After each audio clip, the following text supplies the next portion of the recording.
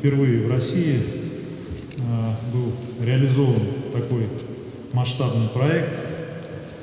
Предварительное голосование мы с вами проводим не первый год, но впервые в этом году оно прошло по смешанной системе. С поздравления с успешным завершением праймерис началась региональная конференция «Единой России». В своем выступлении Андрей Турчак заявил, что сейчас партийцам важно показать командный подход в решении вопросов граждан. На первом плане и тема обновления. Речь идет не только о кадрах, но и современных методах работы. Решение, которое необходимо было принять, что называется здесь и сейчас, избрать секретаря регионального отделения партии. Собравшиеся выдвинули две кандидатуры – директора Никольского лесхоза Михаила Абрамова и временно исполняющего обязанности губернатора Олега Мельниченко. Олег Владимирович Мельниченко я знаю давно. Это несколько лет а, нашего знакомства в разных ипостасях. И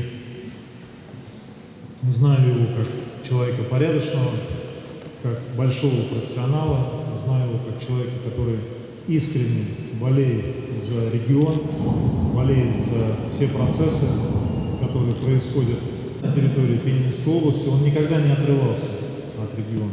Я предлагаю нам всем подумать об объединении всех ветвей власти в одно целое. И поэтому вполне логично выглядит то, что во главе области и во главе партии будет человек, который способен вместе со всеми нами решать и хозяйственные, и социальные проблемы, и партийные дела.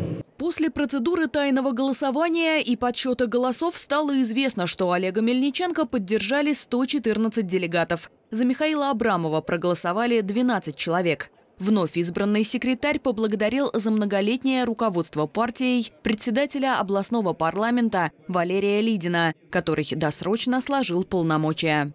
Я считаю, что мы шли в правильном направлении. Сейчас перед нами стоят очень серьезные задачи. Прежде всего задачи, связанные с организацией проведения выборов депутатов Государственной Думы Федерального собрания Российской Федерации.